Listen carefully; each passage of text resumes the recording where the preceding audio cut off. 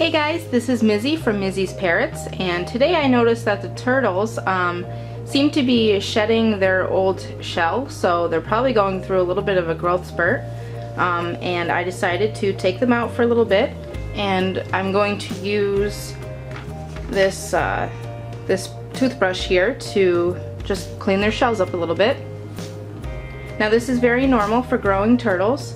Um, they actually will like it. They're a little scared right now because, you know, obviously I took them from their tank to here. Um, but I had to keep them in this smaller dish so that I can contain them while I'm doing this. They've been trying to escape this entire time. so whenever you do this, of course you want to use a new toothbrush or toothbrush that's made um, just for, like that you bought just for your turtles. Um, will it focus? This toothbrush here has soft bristles in the center and then it has like the rubbery on the outside. Um, so it'll be really, you know, soothing and exfoliating to them. Come here little babies. Let's see. Oh yeah, I think this guy here has it the worst.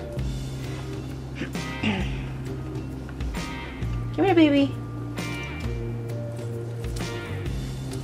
How does that feel? scraping me with his paws.